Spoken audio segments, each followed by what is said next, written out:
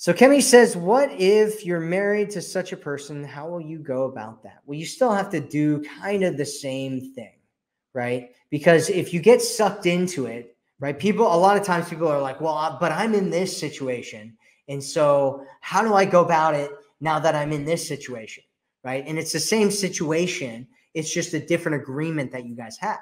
Right. And so your agreement with marriage, you know, assuming that you're from the West and that you're Christian and all that kind of stuff is that you are going to work things out together and that you're both committed to making this work.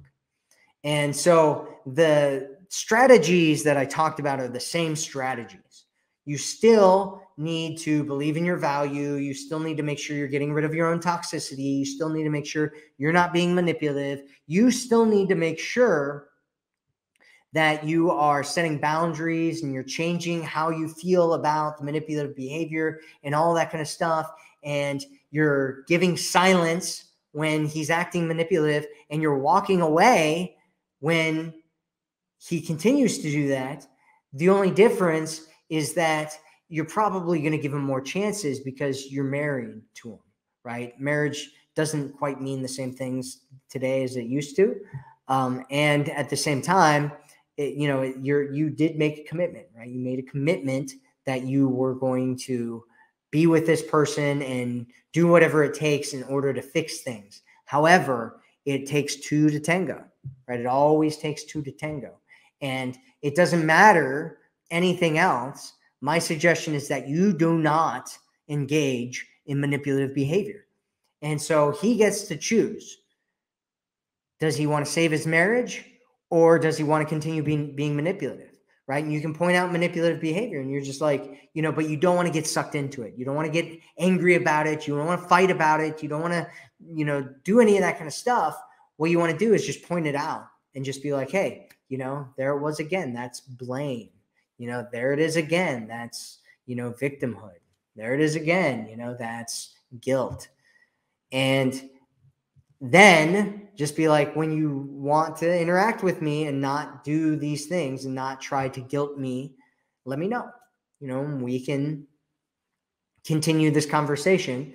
Um you know because i'd love to work things out and i'd you know i love you to death and and i want to have an amazing marriage where we both absolutely cherish each other and we're both on the same side.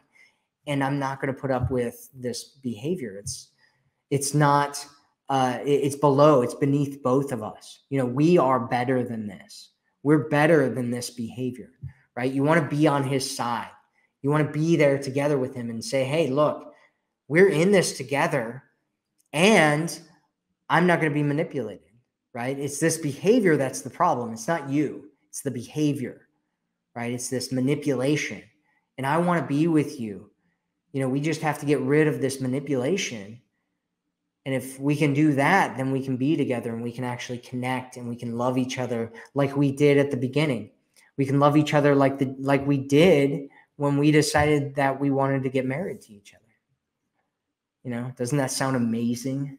Doesn't that sound like exactly what it is that you want? Where we have peace and love and connection, where we just honor each other and we cherish each other and we care about each other and we look each other in the eyes and we remember that spark that we had that made us want to you know commit ourselves to each other for life to allow our souls to merge and combine and be one in this life. And i want to honor that. I want to continue doing that.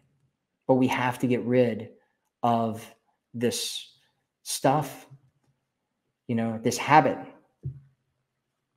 And that's what you want to do does that make sense there, Kimmy? Kimmy? Kimmy?